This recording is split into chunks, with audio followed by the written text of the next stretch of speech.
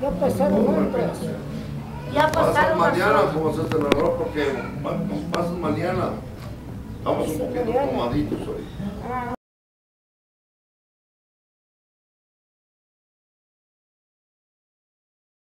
De hecho, todo el mundo los conocemos como personas que, vamos ahora sí a decirles errantes, que andan aquí de un lado para otro, ¿sí? Pero su, su civilización, eh, viven en un círculo muy cerrado. Lo que sé de ellos son reservados, este, no asisten mucho a la escuela, solo los niños más chiquitos van a la escuela, las mujeres no estudian, pues en general son un poco como grotescos, vulgares, los de aquí enfrente son otra onda, son más calmados. Pues unos dicen que son muy, muy rateros.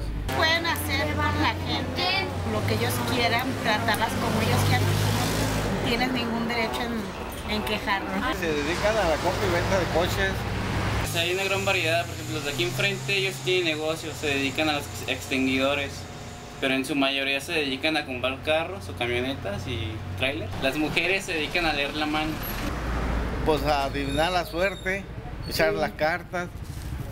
Según eso, a vender carros, comprar y vender carros. Y no sé si ustedes sepan que las distingue lo que traen la máscara, ¿sí? Depende de cómo la traigan, quiere decir si son solteras. Para los gitanos, la presencia, la imagen de las vírgenes siempre ha sido muy importante. Y esto me refiero a los gitanos este, en, en- en el mundo.